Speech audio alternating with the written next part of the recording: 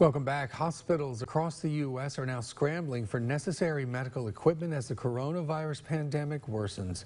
Protective gear like masks and gloves soon to be in short supply.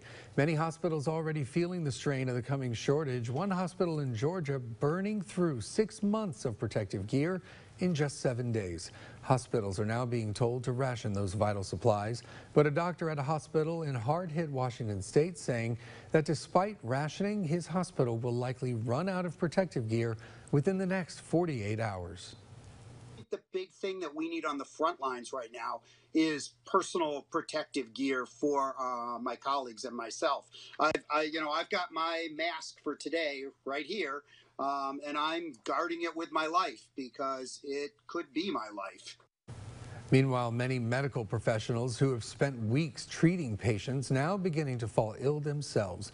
Healthcare workers with underlying medical conditions now being told to take extreme precaution when dealing with patients.